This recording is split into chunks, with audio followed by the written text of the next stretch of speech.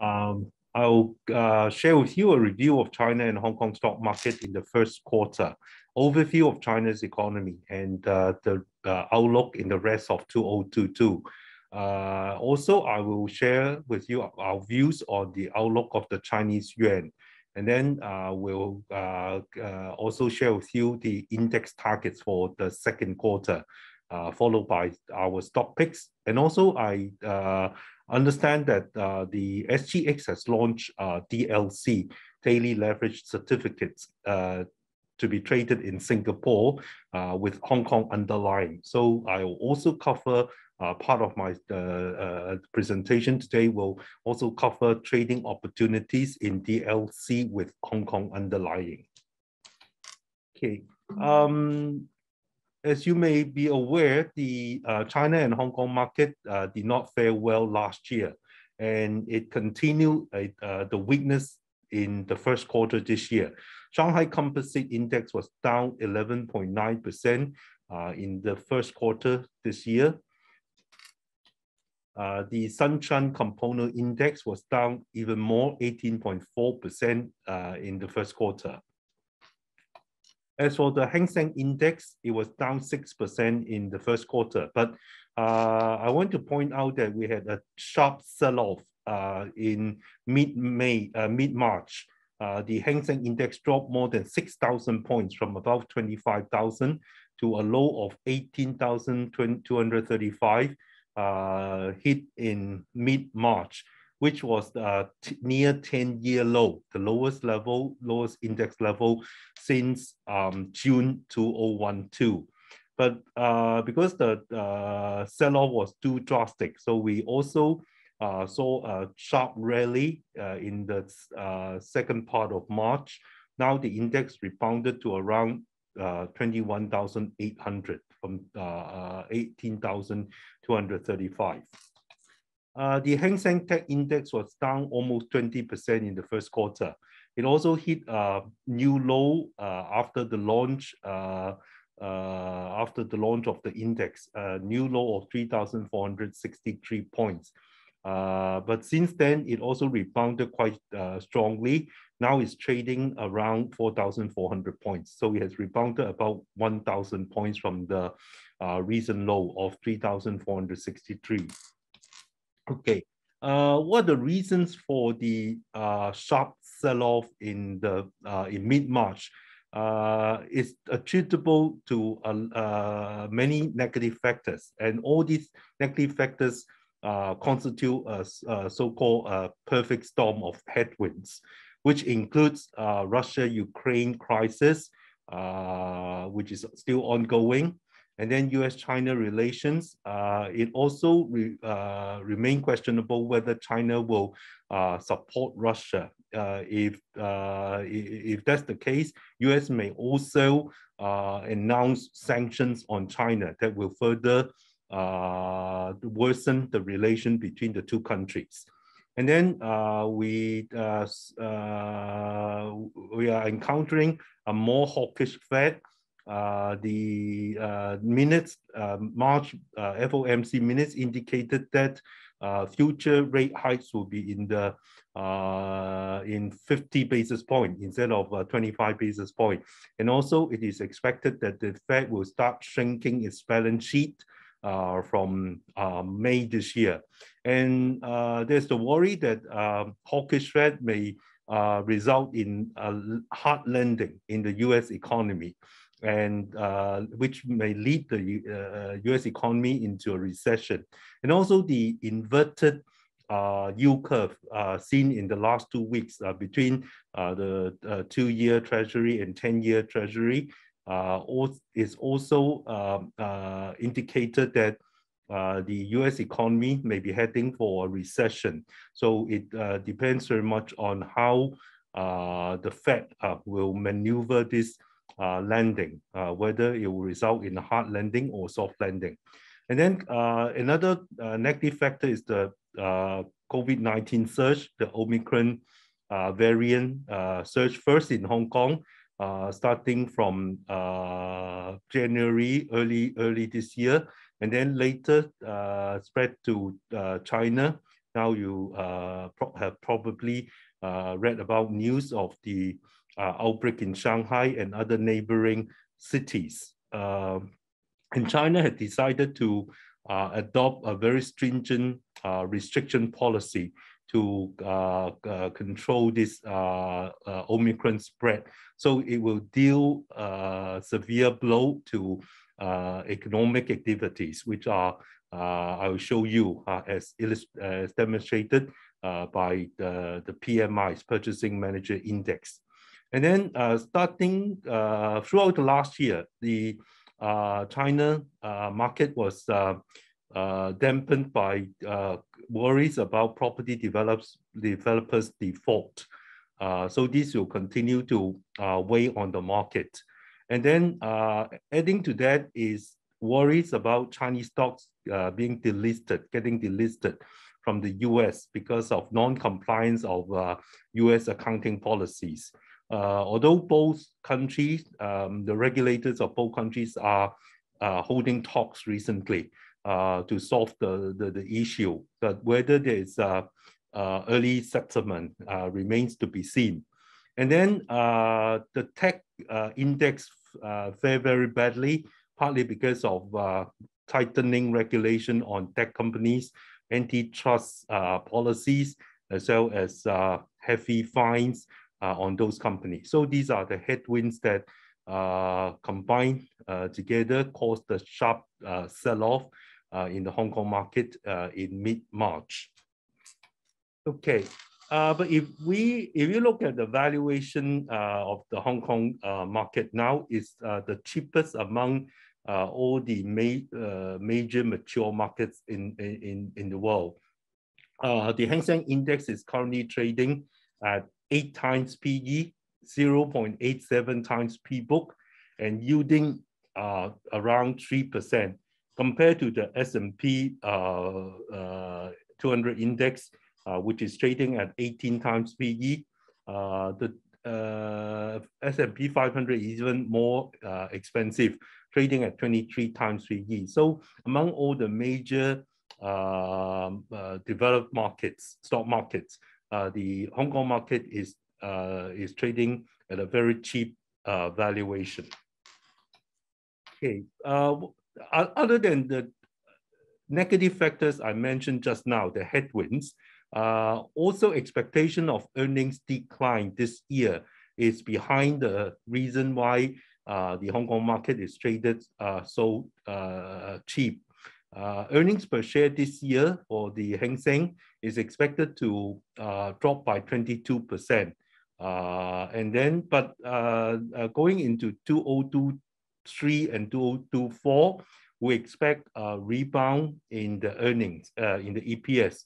Uh, uh, we expect growth of 14.1% in 2023 and 10.72% growth in EPS in 2024.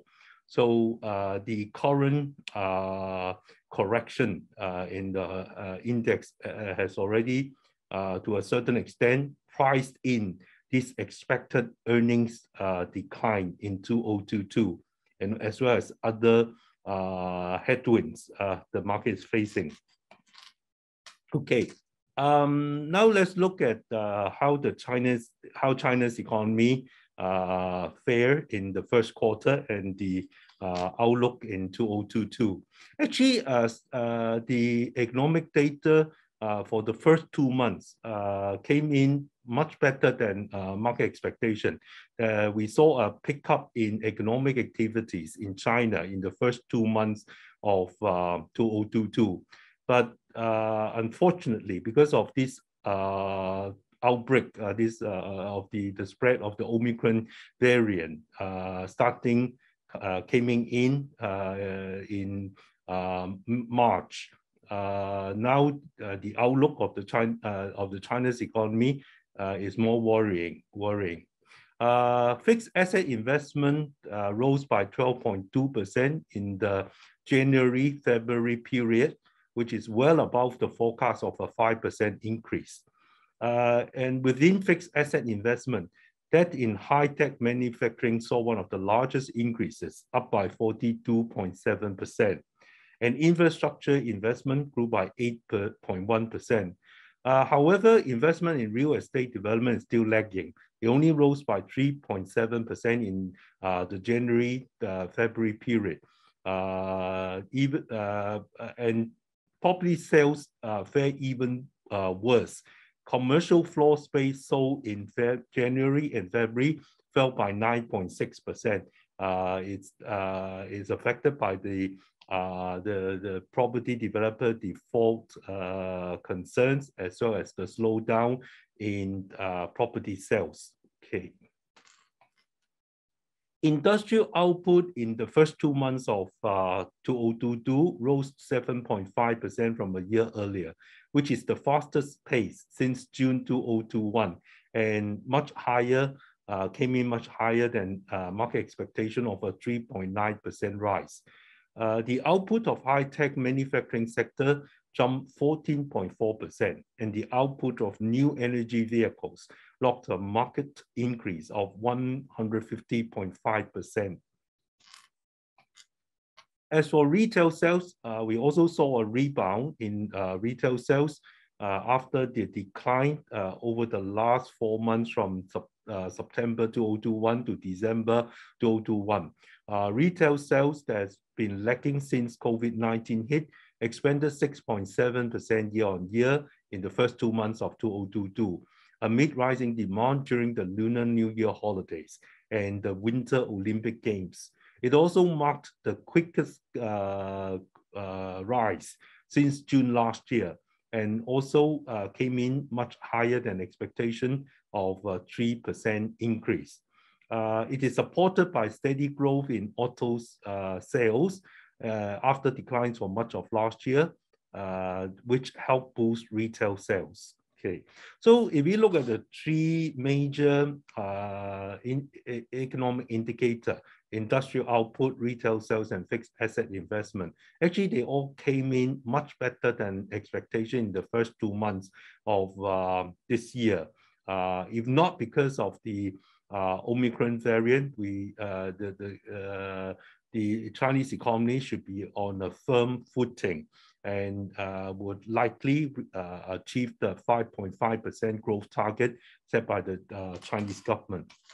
Uh, uh, industrial profits uh, rose 5% from a year earlier in January and February, driven by surging profits in the energy and raw material sectors, thanks to higher prices of commodities such as crude oil and coal. Okay. Uh, now, uh, the uh, U.S. is uh, uh, uh, dampened by the inflationary pressures. China is less so. China's CPI remains stable in February, rose only 0.9% year on year, and the PPI producer price index eased to the slowest annual pace in eight months, uh, it, uh, PPI only rose by 8.8% uh, in February. Um, uh, but it is expected to pick up again in the coming months from surging prices of global commodities, including oil. Uh, the Chinese government left its 2022 CPI target at around 3%, unchanged from 2021. So in terms of uh, inflation in China, especially consumer inflation, is still very subdued. Uh, so uh, we expect uh, the, the, the CPI target of 3% will be, uh, will be met this year, and which gives room for the Chinese government to uh, cut interest rate uh, uh, to support the economy as the recent uh, data shows that the economy uh, is decelerating. So we believe that Chinese the Chinese government has room to uh, cut interest rates. Um, official PMI and also the Caixin PMI both show that uh, the economy is in a contraction phase, has uh, uh, fallen into contraction phase. for instance, the official manufacturing PMI dropped to 49.5 in February, in uh, March from 50.2 uh, in February. And the non-manufacturing PMI uh, also dropped to 48.4 from 51.6. Uh, the uh, this PMI indicate that recent efforts to rein in the largest virus outbreak since early 2020 weigh heavily on activity, especially in services, because the non-manufacturing PMI, both official and the Caixin uh, PMI dropped more than the manufacturing uh, PMI. Okay. Uh, 2022, uh, we believe that to spur growth, the PBOC will low, uh, actually the PBOC uh, lowered mortgage lending benchmark rates in January this year to support, to spur growth as well as to support the property market.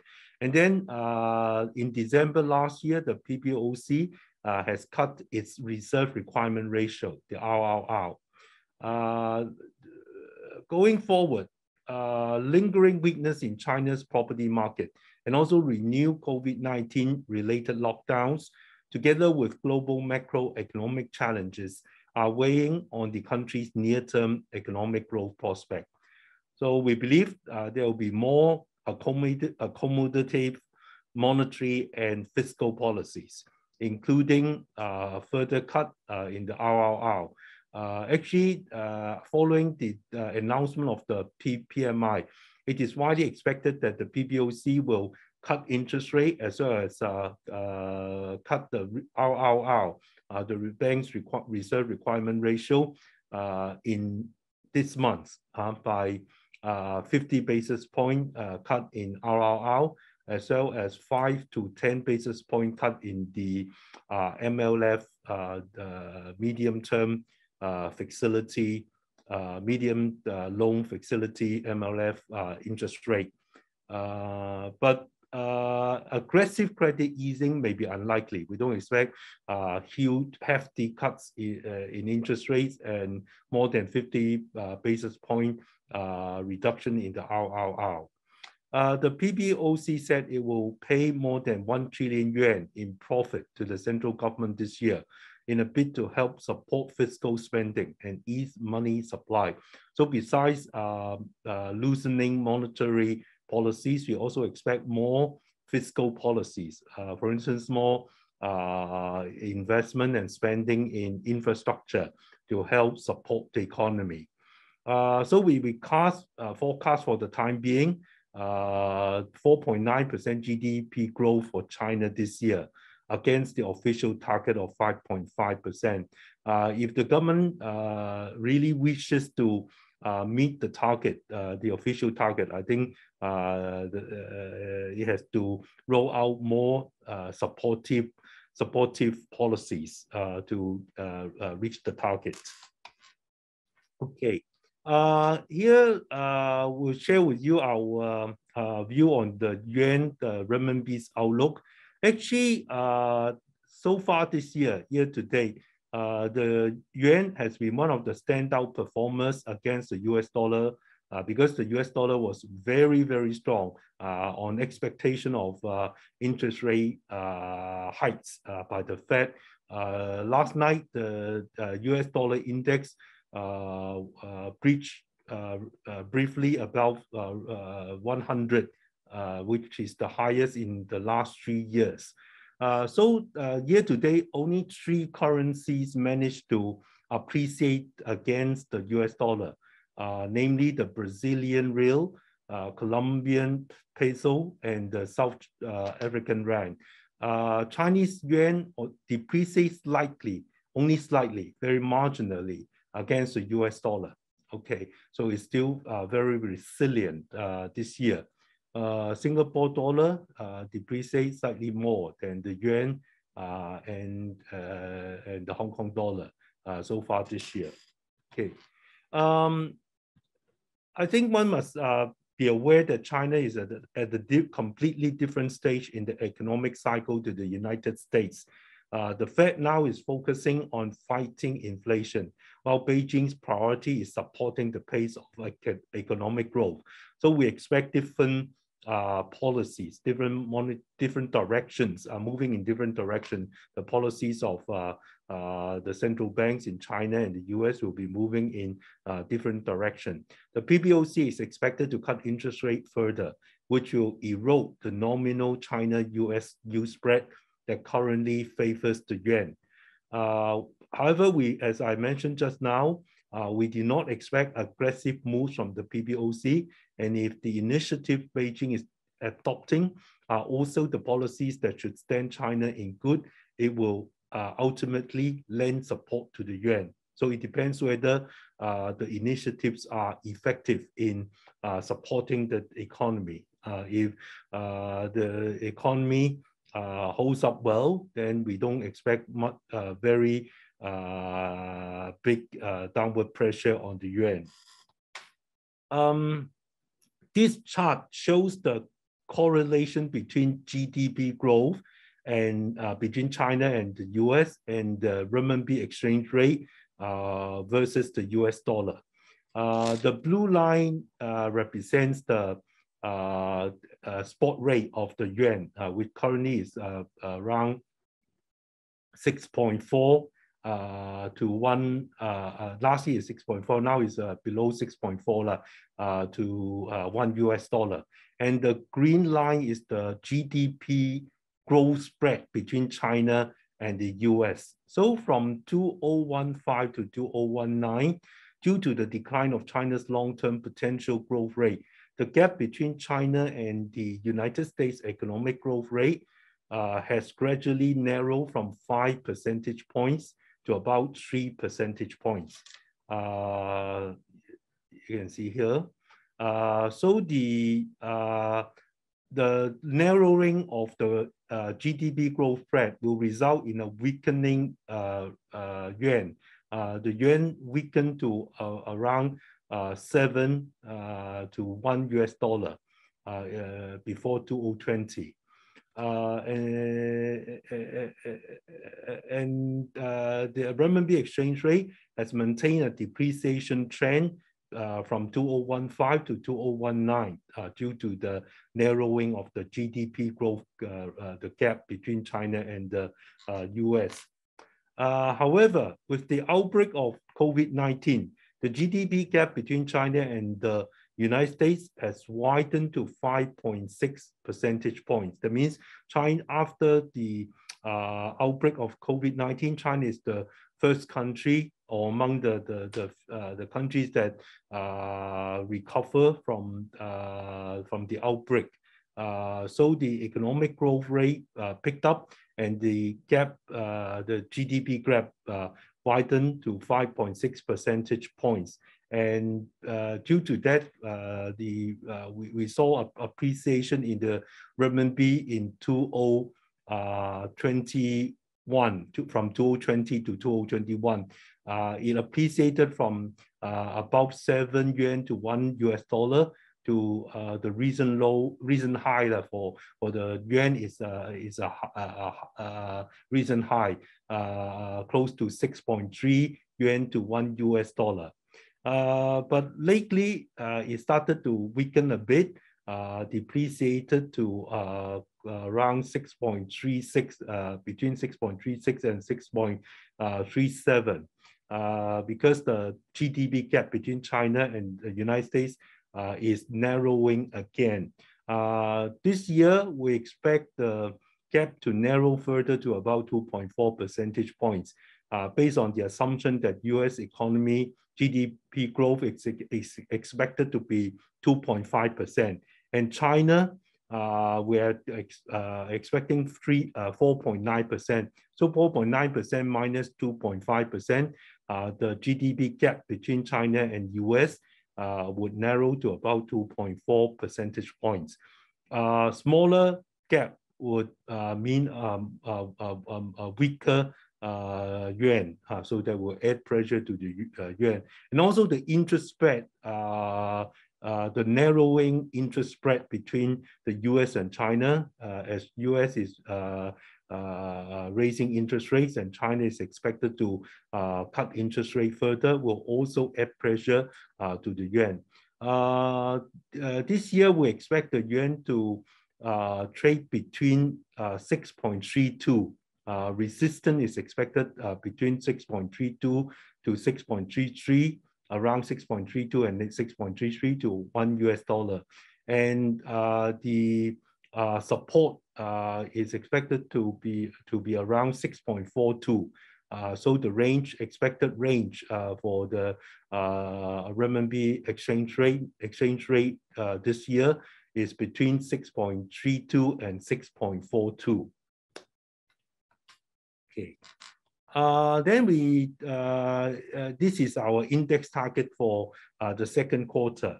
Uh, the Shanghai Composite Index has hit a low uh, close to 3,000 points in, in mid-March, and then it has rebounded now, is trading at around 3,250 points. Our forecast range for the Shanghai Composite Index in the second quarter is uh, 3,020 to 3,400. Uh, we expect uh, uh, stiff resistance around 3,400 but uh, uh, do not expect the Shanghai index to drop below 3,000, barring any unforeseen negative factors that may emerge. Okay. As for the Shenzhen component index, we our forecast range for the second quarter is 11,000 uh, between 11,000 and 13,000 uh, uh, and 50 points. 11,000 and 13,050 points. Uh, for the Hang Seng Index, our forecast range is 20,100 to 23,300, uh, about 2,000 uh, in points uh, uh, range. As for the Hang Seng uh, Tech Index, our forecast range uh, for the second quarter would be between 4,050 and 4,750. Uh, it will be more volatile uh, compared to the Shanghai uh, Composite Index because of uh, uh, first on the US side, if the Nasdaq continues to come under selling pressure, it will also affect the tech index. Uh, and then uh, the uh, regulation risks, as well as the delisting news about U.S. Chinese companies getting delisted in the in the U.S. would also bring about volatility to the index in the second quarter. So these are the uncertain factors that are uh, uh, affecting the, the Hang Seng Tech Index. Okay. Uh, our stock picks this time round, uh, you know this person, uh, looks familiar, right? Because he uh, resembles a bit his father. This is Victor Li, uh, the eldest son of uh, Li Ka-shing, the wealthiest uh, man in Hong Kong. Uh, so uh, the uh, stock picks uh, uh, for the second quarter, we focus on uh, uh, flagship companies uh, uh, or namely Cheung Kong Hutchison, CKH uh, group of companies. Um, last year, CKH group of companies were also hit by the, uh, uh, the COVID-19 epidemic and also uh, macroeconomic factors. Uh, all four companies within the group experienced profit decline. But in 2021, uh, last year, uh, all four companies recovered very uh, healthily uh, and show earnings growth in 2021. At the earnings conference call, Victor Li said that pan the pandemic is a stress test for the group, and the group has uh, uh, gone through this stress test, uh, reflecting their high asset quality and financial discipline. Okay. Um, CKH group of company actually comprise five companies, namely CKH Holdings. CKH stands for Cheung Kong, uh, H stands for Hutchison Whampoa. So the, the two companies are merged uh, to become CKH. Uh, so you have uh, a company, uh, holding company, CKH Holdings, uh, stock code 00001, uh, Power Assets 0006, CKI Holdings, which stands for Cheung Kong Infrastructure, uh, the stock code is 1038. Cheung Kong Asset, CK Asset, uh, the stock code uh, is 1113 and Hong Kong Electric uh, is a trustler. Uh, the, uh, the stock code is 2638. So this is a, a, a brief introduction of the business uh, businesses of each of these companies. CKH is a conglomerate with businesses covering ports, retail, infrastructure, energy, telecommunications, finance, and investment. Electric Power is engaged in diversified businesses such as power generation, transmission and distribution, gas transmission and distribution, as well as oil storage and oil transportation.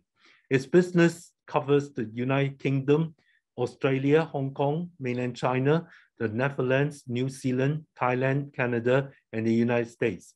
At the same time, it holds Hong Kong Electric 2638, 33.37% uh, equity in Hong Kong Electric. Okay, so Hong Kong Electric is actually a subsidiary of uh, uh, Electric Power. Uh, CKI, China uh, Cheung Kong Infrastructure Holdings. Infra is, infrastructure business is located in Hong Kong, mainland China, the United Kingdom, Europe, Australia, New Zealand, and Canada. And it holds 35.96% uh, stake in electric power. So there's this, actually, if you, uh, if you invest in CKI, you indirectly, uh, you are also indirectly investing in power assets uh, as it, uh, electric power, as it uh, owns 35.96 of the company.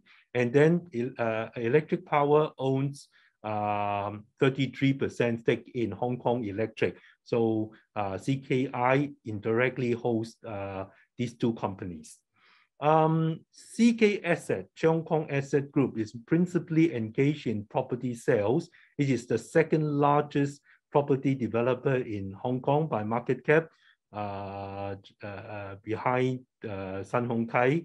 Uh, it also in, it is it is also engaged in property leasing, uh, hotels and service suites, uh, aircraft leasing, pubs. Uh, it has acquired uh, uh, uh, uh, pub operator in the UK.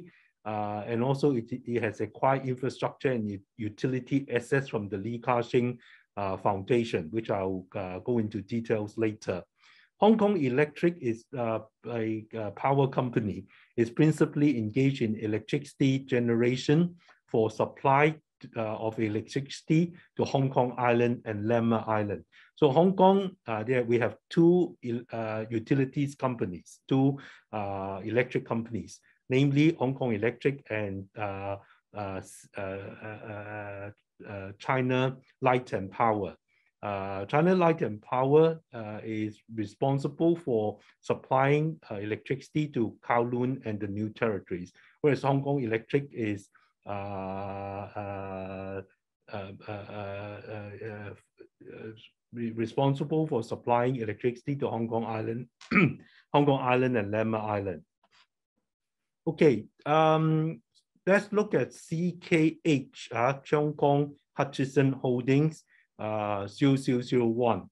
The group reported EBITDA and EBIT growth of 15% and 20% respectively in 2021 primarily driven by improvements in the ports and retail divisions, together with positive underlying results of Cenovus Energy, as, opposed, as opposed to significant losses reported by Husky Energy in 2020. I'll uh, uh, detail about the relationship between Cenovus Energy and Husky Energy later. Uh, these improvements, however, these improvements were partly offset by lower contribution from the telecommunications division as the operating environment remains challenging, particularly in Italy. Uh, profit attributable to shareholders for 2021 increased 16% to 33.5 billion Hong Kong dollars. Excluding one-off impacts in 2020 and 2021, the group's underlying profit uh, attributable to shareholders actually increased by 30% in 2021. Okay, uh, if you look at this table, you will have uh, uh, an idea of what uh, are the business, major bis main businesses that Cheung Kong Hutchison Holding CKH is engaging in. For instance, ports and related services. in terms of revenue, it accounts for 9% of the whole, whole group. Retail accounts for 39% uh, is the uh, uh, cash cow or the uh, uh, the the, the uh, core business of the company. Infrastructure accounts for 13%. CK Hutchison Group Telecom, which mainly contains the business operation in Europe, accounts for 21% of the group's revenue. Hutchison Asia Telecommunications uh, uh, accounts for uh, only 2% of the group's revenue, and finance, investment, and others account for 16%. Okay, so you can see from this table the comparison between 2021 revenue, EBITDA, uh, and 2020 revenue and EBITDA. Uh, uh, uh, there was uh, healthy growth in terms of revenue, total revenue, compared to 2020 as well as uh, the total EBITDA uh, also grows uh, healthily from 2020. Okay, so the, this is the revenue. The revenue of CKH Holdings experienced a drop in 2020, uh, hit by the COVID-19 uh, pandemic. But since then, it has uh, start, it started to grow again in 2021 and 2022 and 2023, uh, we expect further revenue growth as well as earnings growth. Uh, uh, year-on-year growth rate would be between 4 and 5% in the next two years. And then uh, uh, uh, this is the net income, forecast net income. It is expected to grow to more than 35 billion Hong Kong dollar in 2023. Uh, this is the breakdown of the uh, uh, geographical location of its business. 55% of the revenue comes from Europe, and 12% comes from Hong Kong, 10% from mainland China, another 18% from Asia, Australia, and other countries.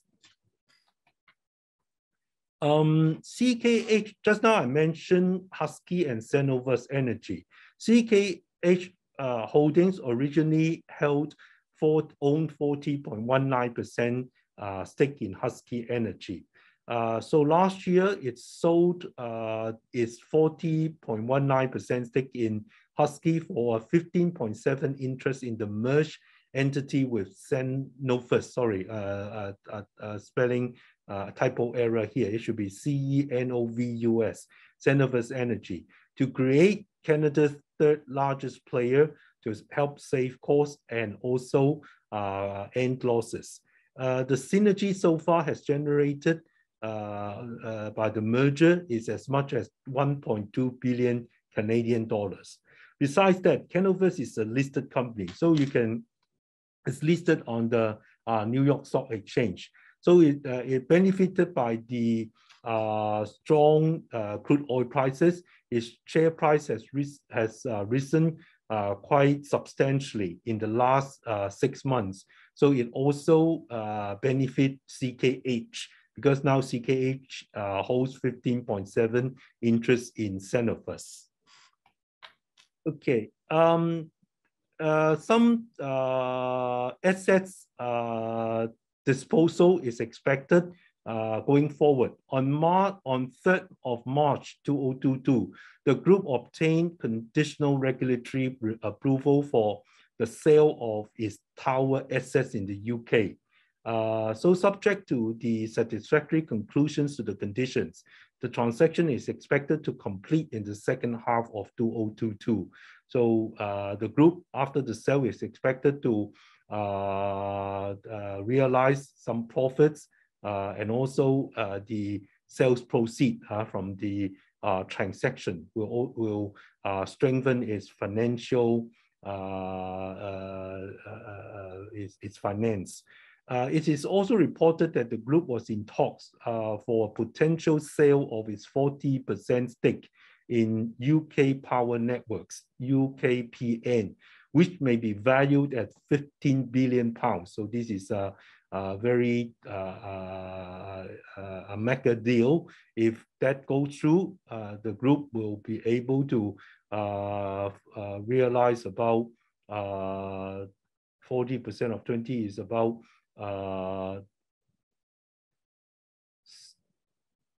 12, let me see, 20 billion, 40%, it's about 8, 8, 8 billion, 8 billion US dollar uh, from the uh, sales proceed.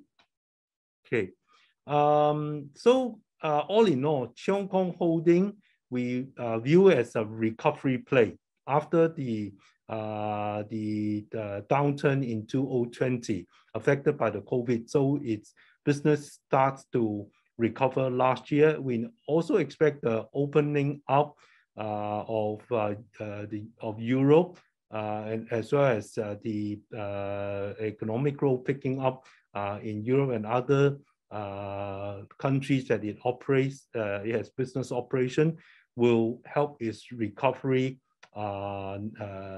this year. So it's a recovery play among the uh, Cheung Kong uh, Holding Group of companies, Cheung Kong uh, Hutchison CKH uh, Group of companies. Uh, we recommend to buy at 54 Hong Kong dollars. We have set a target of 60 Hong Kong dollars and uh, suggested stop loss uh, at 51 Hong Kong dollars. So if you look at this price chart, actually it outperformed the uh, the Hang Seng Index this year. Uh, it, it, has risen by about uh, more than 10% uh, from about 10% from uh, year to date in the first quarter. Okay, the other company, CKI, CKI will be viewed as a yield play. if you, we recommend CKH as, as a recovery play and CKI as a yield play. The group recorded a profit attributable to shareholders of 7.515 billion uh, in 2021, a 3% increase over the previous year. Uh, but excluding the non-cash deferred tax related charges for the United Kingdom operations in 2020 and 2021, as well as the disposal gain from the sale of Portugal Renewable Energy in 2020, the adjusted profit attributable to shareholders uh, actually increased by 22% in 2021. Funds from operation uh, cash flow, uh, operation cash flows amounted to 8.4 billion Hong Kong dollar uh, in 2021, an increase of 8% year on year, testament to CKI, uh, Cheung Kong Infrastructure's strong recurring cash flow. And as at 31st December 2021, CKI has cash on hand of 8.1 billion Hong Kong dollar and a net debt to net total capital ratio of just 14.7%. So it is a defensive pay, uh, play. Uh, and also it has very good track record of uh, dividend paying. The board of directors has recommended a final dividend of $1.81 per share, Together with the interim dividend of 69 cents uh, per share, the total dividend for the year will amount to $2.50 Hong Kong cents, uh, 2, to, uh, 2.5 Hong Kong dollars per share compared to 2.47 uh, Hong Kong dollar uh, in 2020. So uh, uh, on the right hand side, you can see that since 2017, uh, the company uh, has been increasing its dividend payout every year uh, since 2001, uh, 2020, uh, sorry, it's uh, 2000, year 2000. Uh, it represents 25 consecutive consecutive years of dividend growth since listing. Uh, CKI will also benefit uh, from the potential, just now I mentioned uh, the potential sale of UKPN, uh, UK Power Network, uh, which is 40% owned by CKH, uh, uh, Kong uh, Hutchison Holding, and CKI owns 54.4% of UKPN.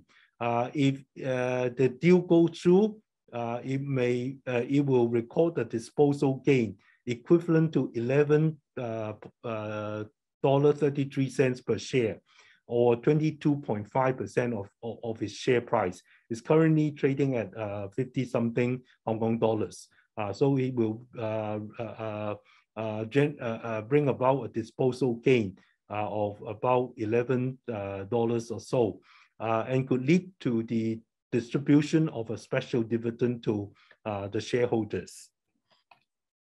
Okay.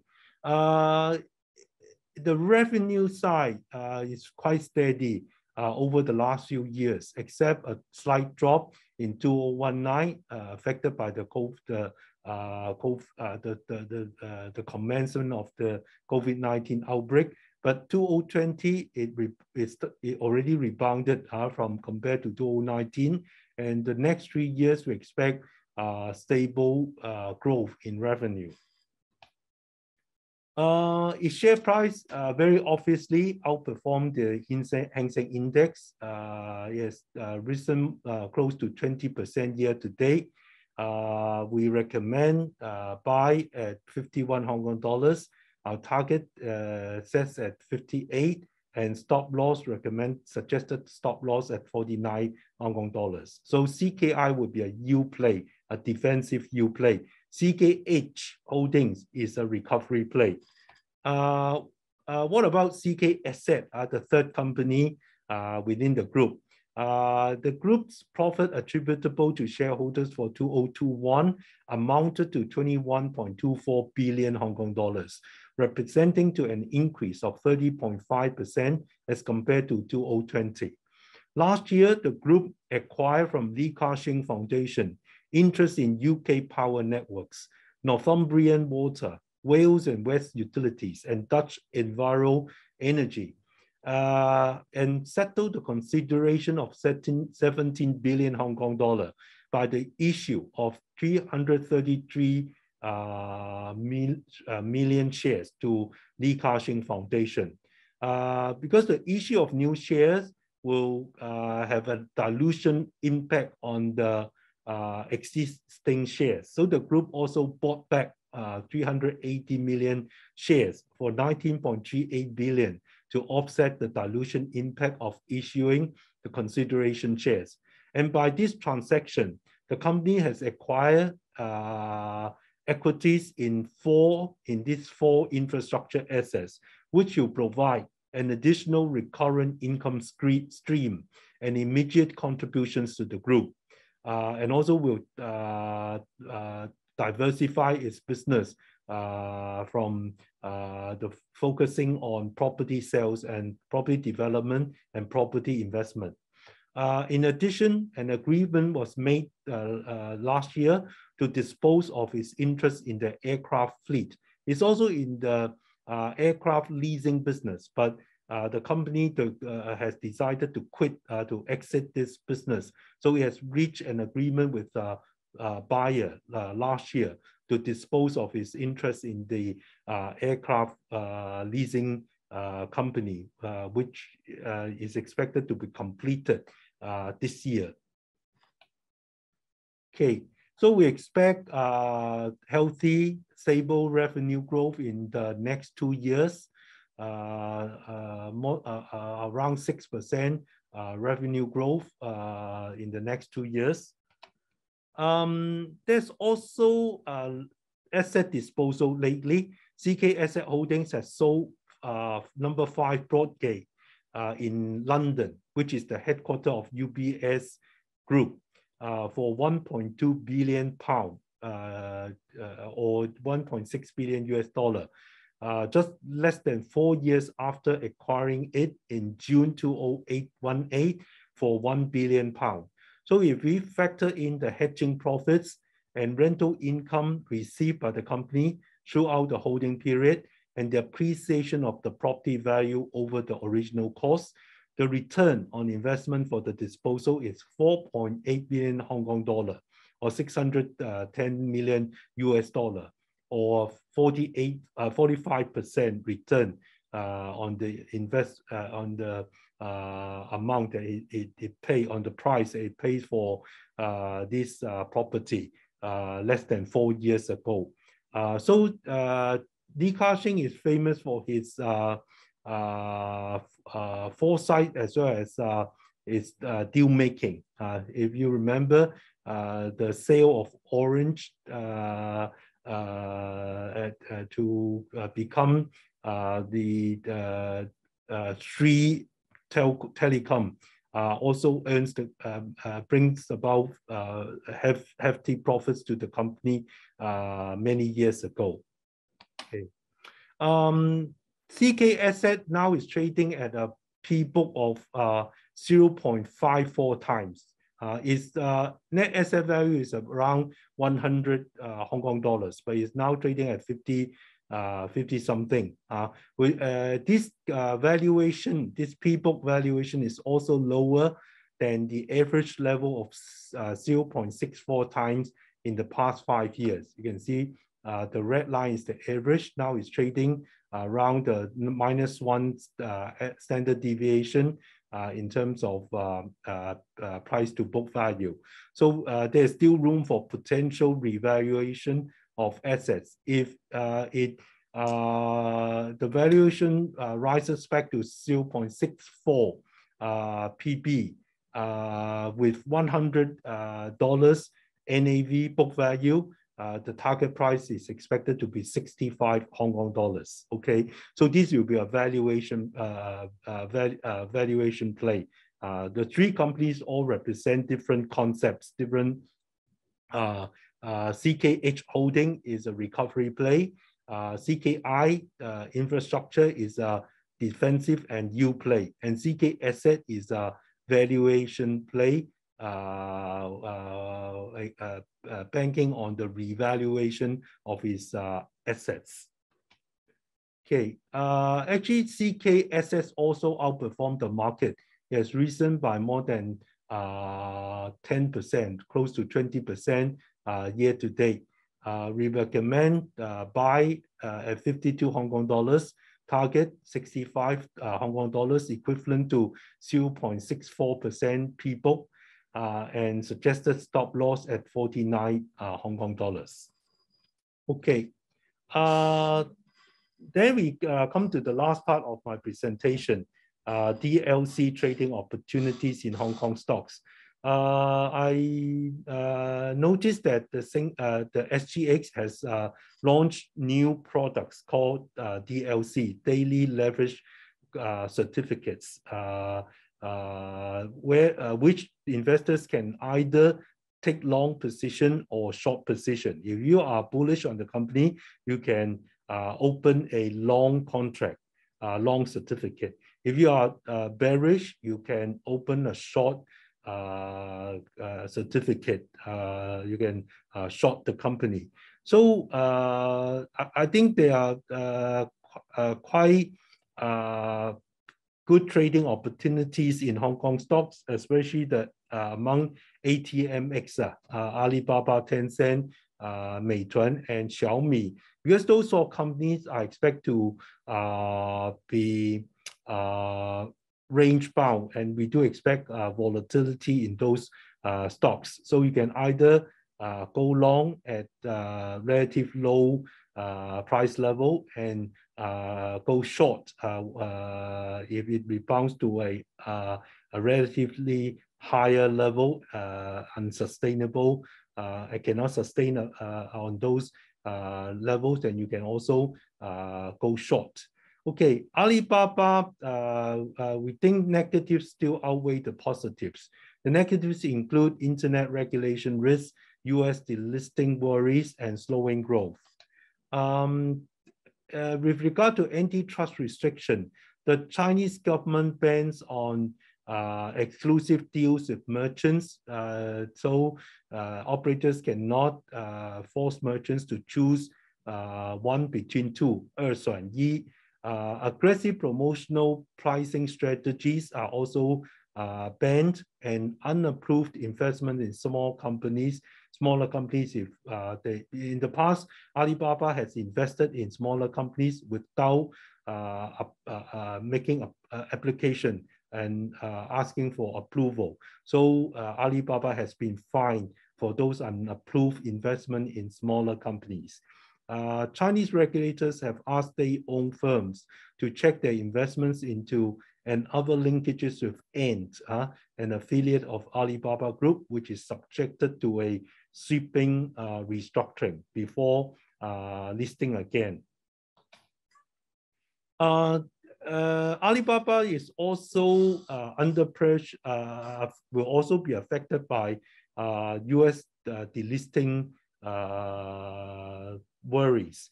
The Holding Foreign Companies Accountable Act, which became law in late 2020, requires foreign companies to be more transparent in making account, accounting documents available.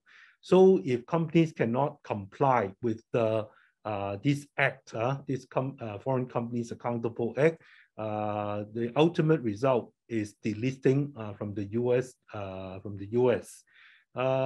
so lately, the SEC has re has announced three three rounds, made three and rounds of announcement that specifically named companies slated for delisting if they cannot, if they are non-compliant with the Accountable Act. Uh, so we do expect there may be more further announcement from the SEC, and that would dampen uh, the sentiment uh, towards the, the tech stocks are listed here in Hong Kong as well.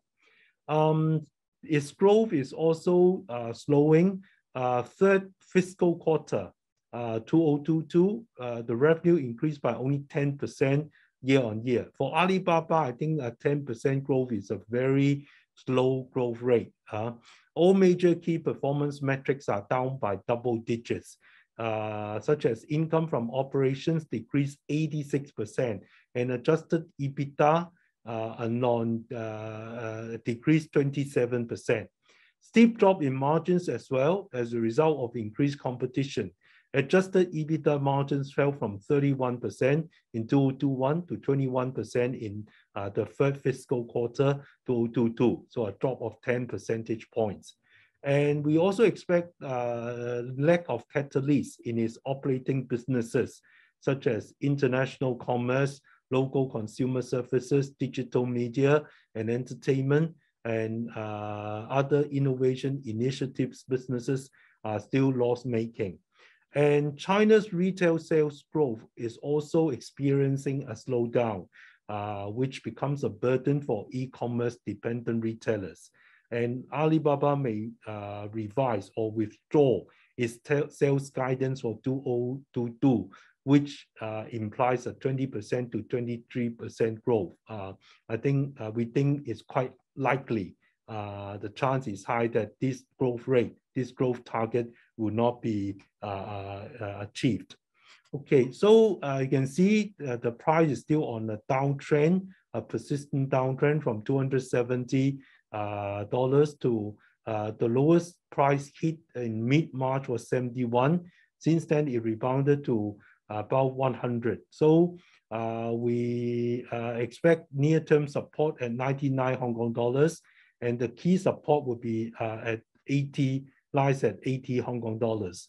Near-term resistance is expected at 121, key resistance uh, 135. So investors may uh, uh, take reference to these support levels and resistance levels to trade the DLCs in uh, with Alibaba as the underlying.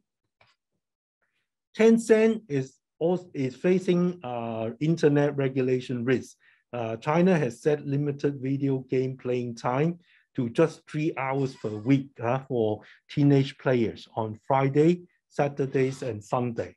The Cyberspace Administration of China, CAC, has recently unveiled new draft regulation requiring all online service providers to set up a youth mode for their services, stating clear limits in terms of user time, content.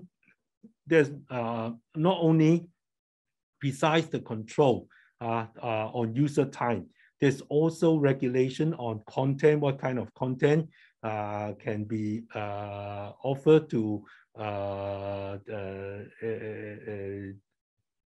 young uh, users. And also the functions are also regulated. The new regulatory requirements will translate into higher compliance costs for uh, Tencent. Uh, another negative factor, potential negative for Tencent is it may face possible huge fine uh, uh, levy on its mobile payment product, uh, WeChat Pay, uh, for uh, uh, huge anti-money laundering fine for having loopholes that allow transactions to be used in money laundering and gambling. So uh, this one is a potential negative for the company. Uh, Tencent is also experiencing slowing growth, uh, like um, Alibaba. Its revenue in the fourth quarter only grew 8%, uh, which is the slower pace since its 2004 listing uh, in Hong Kong. Domestic gaming revenue grew a mere 1% due to a month-long licensing halt. Uh, since early last year, the uh, Chinese authority has stopped uh, giving licenses to new online games. Gross margins narrow under an international expansion. Uh, Tencent uh, started its decline. Actually, it held it held uh, up well, uh, about 40 Hong, uh, 400 Hong Kong dollars before the uh, sell-off in that uh, kicked in uh, in mid-February. And uh, from mid-February, its share price went down to below $300, hit, hitting a bottom of 297 and then rebounded quite strongly. Now it's trading uh, at uh, 370 uh, something lah, Hong Kong dollars. So we expect near-term support at 360 and key support is expected at 330. Near-term resistance is uh, will lie at 390 key resistance uh, is around 405. So uh, these are the expected uh, support levels and resistance level for Tencent for reference to in trading DLCs uh, in Singapore. Meituan is facing other its its own regulatory risk. its extensive reach among riders and merchants has drawn scrutiny. Uh, resulting in regulatory action in the past 18 months, including a large antitrust fine. Uh, it's also requested required to improve riders' benefits, and uh, also uh, uh, there's pressure for, on the company to lower to reduce the merchant commission. the latest move direct on directed on-demand delivery providers to cut commission fees. So all these moves will uh, erode uh, the uh, profit margin of the company, as well as have adverse impact on the company's revenue, the top, top line, and as well as the margin. in the fourth quarter last year, the company's revenue rose 31% on the back of significant new business income and stable food delivery growth. However, uh, despite the rise in the revenue, net loss uh, uh, in the fourth quarter of 2021 widened to 5.34 billion yuan from a loss of 2.24, so it more than doubled uh, the loss in the same period a year earlier as its sales and marketing expenses surged 46%. And this marked Meituan's fifth consecutive quarter in the red.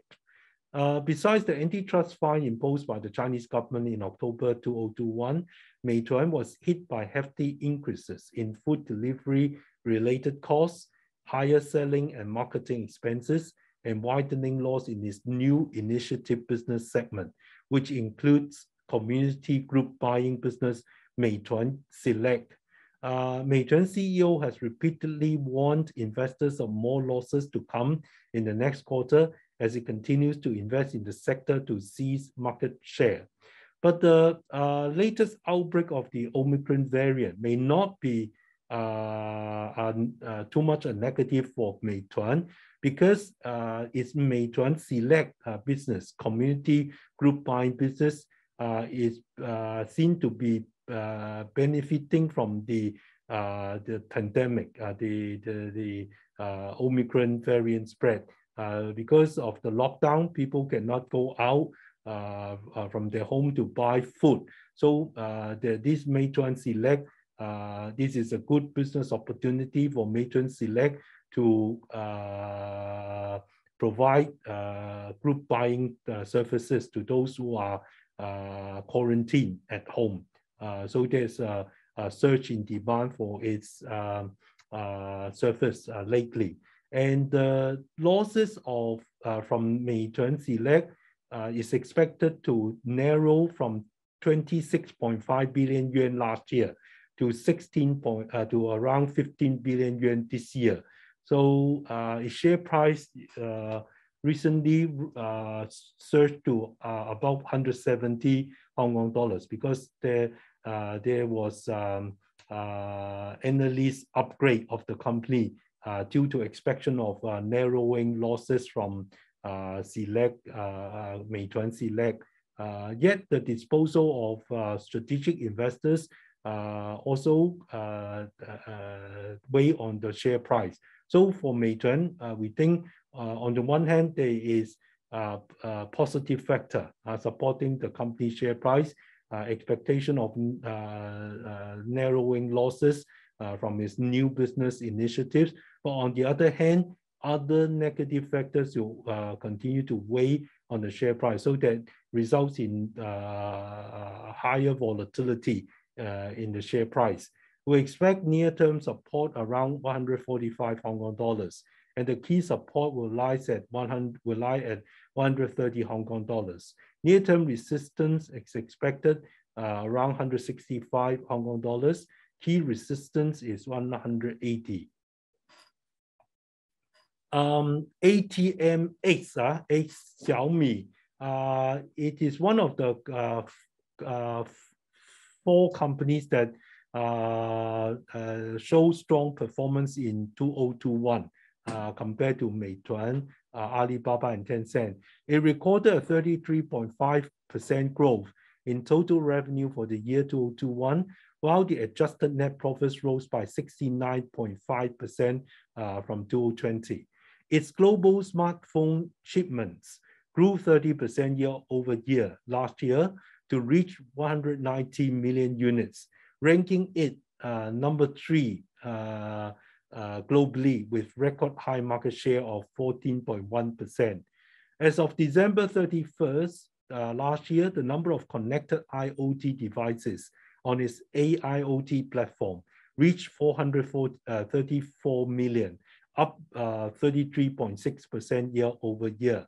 And it also saw good development in its overseas market expansion. Revenue from overseas markets reached 163.6 billion yuan in 2021, increasing 33.7% year over year, and now accounting for nearly 50% of total revenue. Um, but uh, there's one uh, uncertain uh, factor uh, that is the its venture into uh, the EV industry, which is getting more and more competitive, may bring uh, about uncertainty to the to the company. as the company plans to pump to invest 10 billion US dollar into its EV electric vehicle division over the next 10 years. It will construct a production plant in Beijing that will be capable of producing 300,000 electric cars per year and expects to reach mass production by the first half uh, of 2024.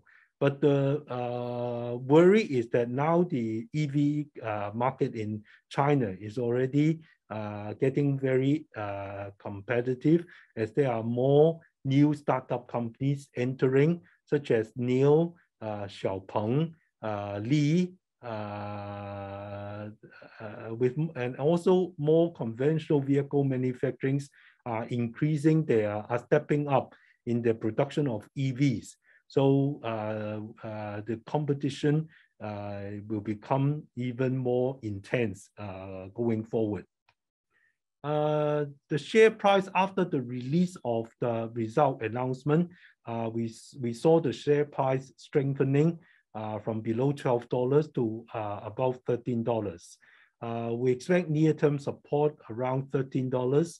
Key support is expected at 1140, uh, which is which was the recent low hit in mid-March. Uh, near-term resistance expected at 14 point, sorry, 14.5, uh, uh, 14, uh, 50 Hong Kong dollars and key resistance uh, expected at 16 uh, Hong Kong dollars. Okay, uh, BYD is also one of the underlying being traded in the Singapore DLC. So BYD, I think you may not be unfamiliar with the company, is principally engaged in automobile business, which includes new energy vehicles and traditional fuel engine vehicles. But it's worth noting that uh, uh, this month it has announced that uh, it has ceased to produce any more traditional fuel engine vehicles starting from March uh, uh, 2022. So going forward, it will focus uh, uh, solely on new energy vehicles, on EV, the production of EV. Uh, it's also engaged in handset components manufacturing and uh, handset assembly, assembling business.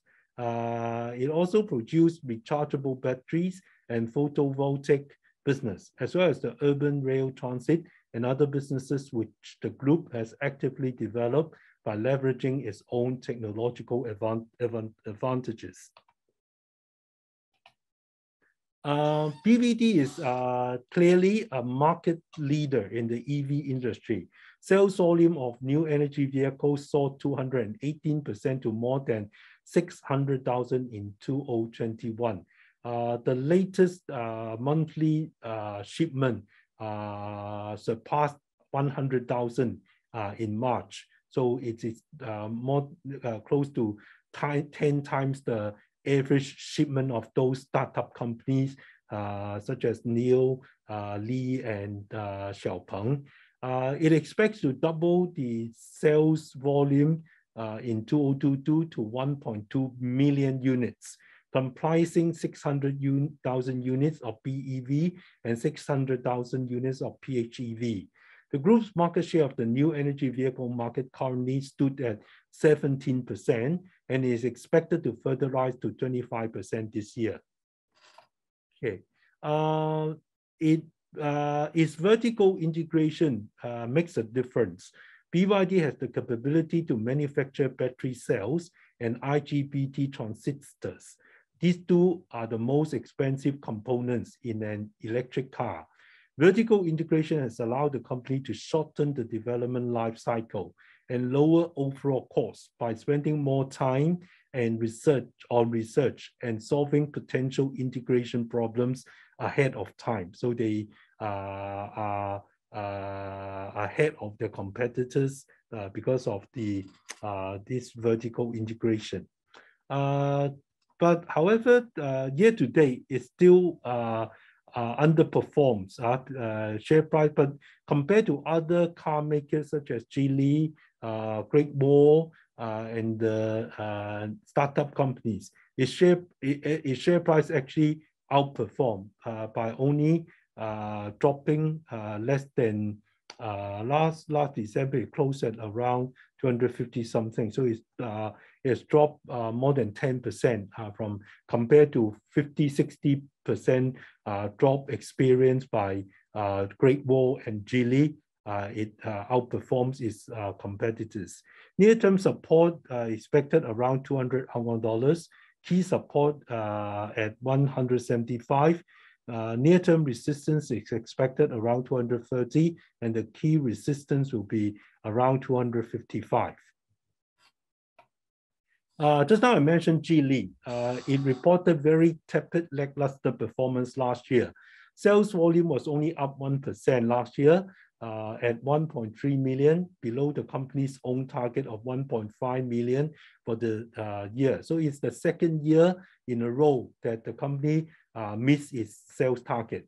The company attributed the delivery volume miss to the global chip shortage that has constrained its production across the world. And revenue was up 10.3% year on year to 101.6 billion in 2021. However, profit attributable to shareholders was down uh, by 12.4% year on year to 4.85 billion. Uh, uh, but excluding share-based payments of uh, around 6 billion yuan, Profit attributable to shareholder was still up 9.4% uh, year on year. And gross profit margin uh, was uh, uh, not impressive, uh, was only up 1.1 percentage point to 17.1%. Uh, compared to the startup companies such as um, NIO and Li, uh, their gross profit margin are more than 20%. So Geely uh, lags behind in terms of growth in, in gross profit margin, even uh, to those new startup companies. Um, the outlook will be remain challenging. Geely says the semiconductor supply shortage shows no sign of subsiding in 2022, and rising competition in China uh, and the country's tightening pandemic curbs and higher raw material prices amid global inflation could add further pressure on sales and margins this year. The company targets sales volume for 2022 at 1.65 million units, 27% uh, growth from uh, 2021. But uh, it, is uh, a bit too uh, aggressive, and we expect uh, very likely the company will miss this its sales target three years in a row. Because up to March, the first quarter Uh, uh, sales volume uh, in the first quarter is around 300,000, uh, which is 19% of the, the year annual sales target behind the 25% average rate to, to, to hit the, the yearly target sales target. Geely, uh, since last year, has dropped uh, more than from uh, $20 to 11.58, 40%, uh, close to 50%. So it's dropped even more compared to uh, BYD. Uh, near-term support at expected at $11, key support $10, near-term resistance 12.50, key resistance 14.20. Okay, uh, among the DLC uh, traded in Singapore, there's also one uh, pharmaceutical company, uh, WuXi Biologics, 2269. Uh, revenue increased very strongly last year by 83.3% to uh, 10,290 million. Net profit grew by 173.3% to uh, 3.5 billion. Total backlog grew 20.1% to uh, 13.5 billion uh, US dollars. And the group continued to expand its customer base. Total number of customers increased to over 470, including all the top 20 global large pharma. Uh, those 20 top 20 are all its clients.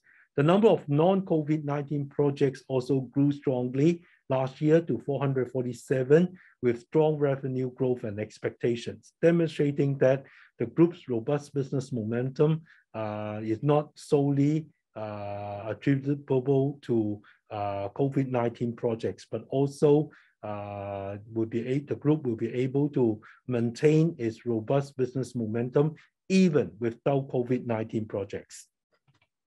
Okay, uh, the share price started to rebound after hitting a recent low at $40.30 and uh, its share price rebounded to close to 70 Hong Kong dollars. We expect near-term support around $57. Key support uh, expected at 50 Hong Kong dollars. Near-term resistance 70. Key resistance uh, will be uh, around 80. Okay, uh, so that ends my presentation today. Uh, now I would like to uh, answer some uh, question. Uh, do you think the Hang Seng 18,000 low will be retested? Not uh, likely in the second quarter, because as I explained just now, the Hang Seng index dropped to a 10-year low, around 18,000 uh, is due to a combination of uh, negative factors, the so, so-called uh, perfect storm of headwinds. But we do not expect uh, those headwinds, uh, uh, I mean, the, the, the, recurrence of a snow, the, such a storm, snow perfect storm in the in the second quarter. So some of the negative factors are started to uh, getting some improvements. For instance, Ukraine, uh, Russia-Ukraine uh, crisis. Uh, it, now both parties are conducting peace talks, and the, the COVID-19 outbreak in Hong Kong is now gradually coming under control. So we do expect some recovery uh, in the local uh, uh, retail sectors. Okay. Um, at what price would you recommend buying Xiaopeng and uh, JD? And what are uh, my target price uh, for them? Okay, let me check the share price. Um,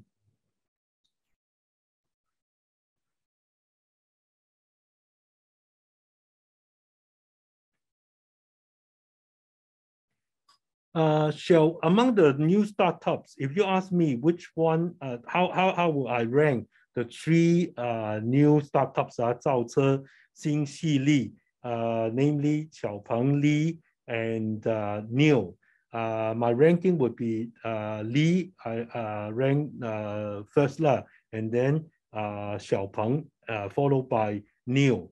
Uh, it also it, uh, it uh, the uh, shipment uh, in March also uh, more or less came in uh, uh, uh, with this ranking order. Uh, Xiaopeng deliver the most number of cars, EVs in March, around, uh if I remember correctly, around 12,500, followed by Li and NIO shipment was a bit disappointing. It shipped less than uh, 10,000 units of EVs in March. Okay. Um,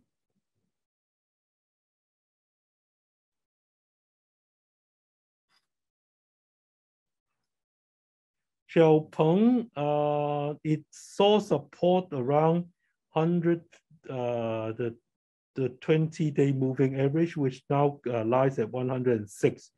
So uh, uh, we recommend uh, to buy around uh, 106 and 107. And resistance is, is uh, expected at 125, target price 125. Buy price 106, 107. If cut loss, if it drops below 100, $99, you can set the uh, stop loss price at $99. Okay, uh, JD 9618. Um,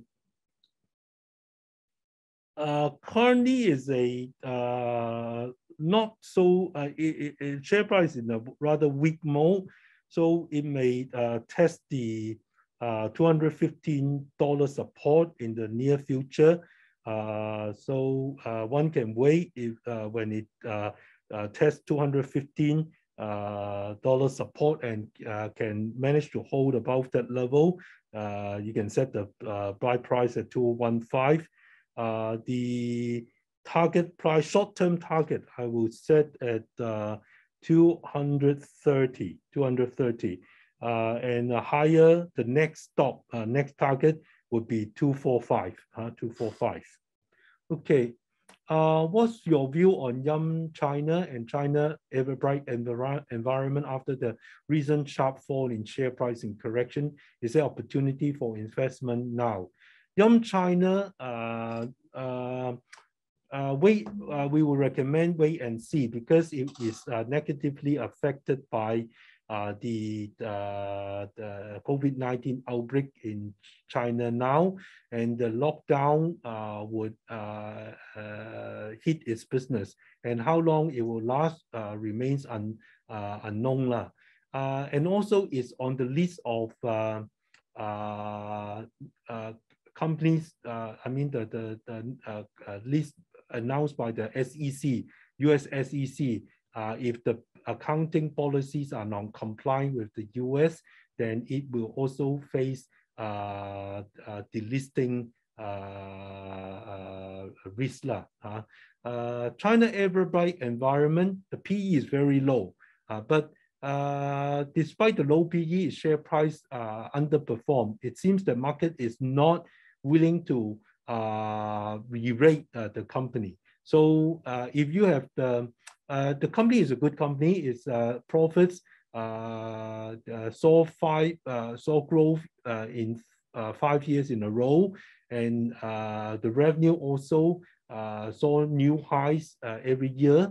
But the share price lags un underperform. I think it's because the BOT nature, operating the business nature of the company, build, operate, and transfer uh, will uh, involve a lot of capital expend expenditure by the company. So the, uh, the debt level of the company is rather high and the interest, uh, the finance cost every year uh, erodes a big part of the uh, profit margin. So its strength has become its uh, weakness because uh, the Everbright uh, environment has been able to uh, uh, acquire a lot of new projects uh, for development. But uh, to uh, development to develop these new projects, it has to uh, pump in a lot of money into those BOT projects. So it, it, it caused the companies the, the gearing level, the gearing ratio is rather high and uh, the receivable. Also, uh, there's delay in the uh, uh, payment of subsidy as well as other uh, receivable uh, by local governments. So the, the, the, the, may this may explain why the company has been trading at a very low uh, valuation. So if you don't mind, if you have the patience, the holding power as well as the patience to wait for re-rating, I think the company is safe, I can say, but uh, not sure when this re-rating uh, will happen. Okay. Um, outlook for Hong Kong EX, uh, Ping An, uh, JD Health, Alibaba. Alibaba, I have just uh, uh, talked about that. So let's focus on Hong Kong EX, Ping An, and JD Health.